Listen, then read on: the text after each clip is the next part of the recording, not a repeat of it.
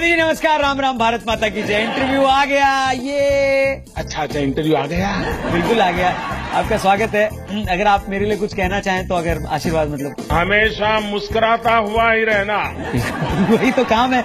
अपने नाम पे ही गया हूँ मैं। रौनक।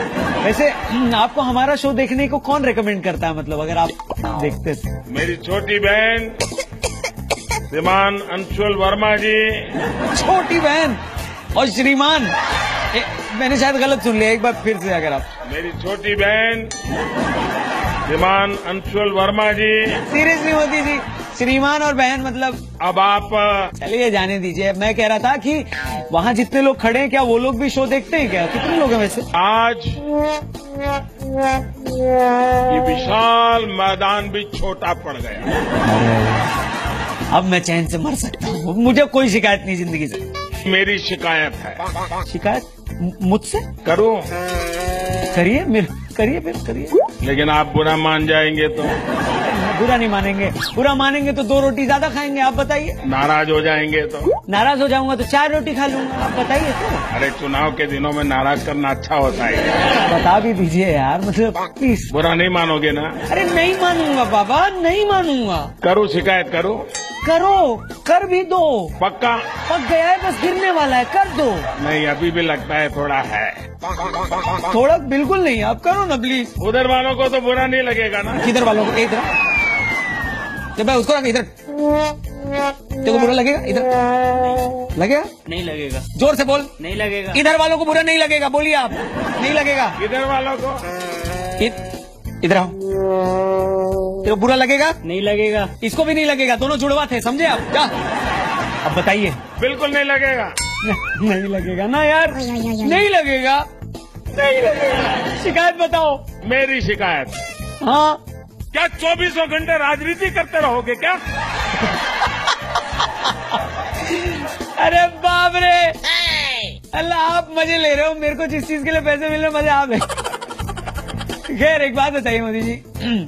इस वक्त माहौल क्या है मतलब यूपी में? भारतीय जनता पार्टी का घोड़ा तेज गति से आगे बढ़ रहा है। घोड़ा। और उस घोड़े पे बैठा कौन है? मेरी छोटी बहन श्रीमान अंशुल वर्मा जी।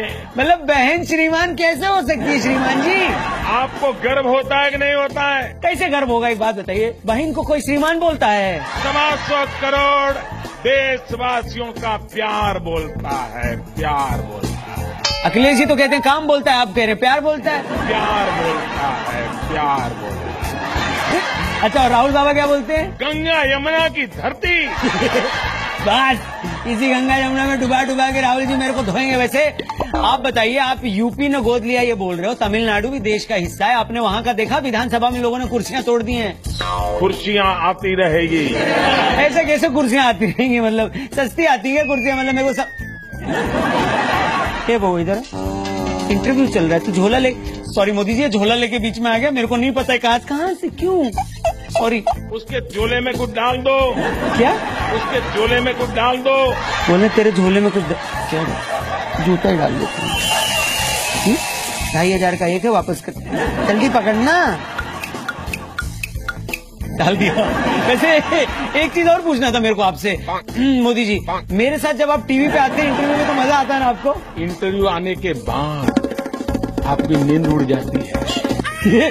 इतना खतरनाक लगता है क्या मतलब मेरे साथ बात करना? इंटरव्यू आने से खुशी नहीं होती है नींद उड़ जाती है। एक है सर ये अच्छा नहीं है मतलब जो भी आप कह रहे हैं बिल्कुल अच्छा नहीं है। समझ नहीं आ रहा खुशी मतलब? बताइए भाई इतने से तीस सेकंड में इंटरव्यू में पता चलता है कि अच्छा है कि बुरा है? सर बिल्कुल पता चलता है यार। एक आखिरी सवाल मैं आपसे पॉलिटिक्स पे पूछ रहा हूँ उसके बाद बात ही नहीं करनी है। क्या चौबीसों घंटे राजनीति करते रहोगे क्या?